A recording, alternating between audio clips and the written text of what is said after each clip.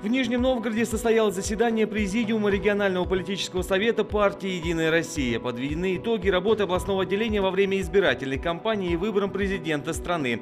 Напомним, Нижегородская область вошла в число регионов, где избирателями Владимиру Путину была оказана наибольшая поддержка. Мы считаем, что тот кандидат, которого «Единая Россия» активно поддерживала, Владимир Владимирович Путин, он действительно победил в Нижегородской области с хорошим результатом.